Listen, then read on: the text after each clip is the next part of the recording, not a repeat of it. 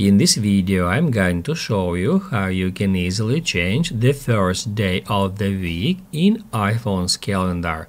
Be sure to watch the video to the very end so you don't make any mistakes.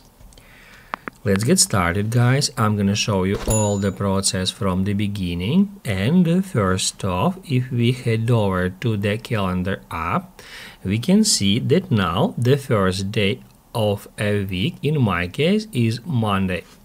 However, we can easily change that. To do that, we need to head over to settings, then scroll down and tap add calendar. In here, we can easily find the option which is called start week on and if we get into it we'll be able to change it to any day from that list for example Sunday and then if we head over to the calendar app we can see that now our week starts on Sunday. If this video was helpful for you, don't forget to hit the like button.